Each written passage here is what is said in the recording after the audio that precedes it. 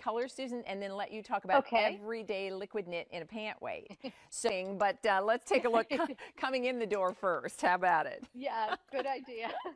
yeah, wardrobe into liquid knit. Wow, I mean that says a lot about fabric for Leah right now because yeah, it's a simple elastic pull-on, the beauty delivered to your home, and you put it on and you're gonna love the way you look. Oh my goodness, hello! you don't have to go your power walk in the morning. But I've known to wear my liquid knit to a black tie event with like a sequin blazer, like a really dressy top, and you put this on, and you're mm, well dressed. It feels like a gorgeous. Again, because we have petite and we have regular.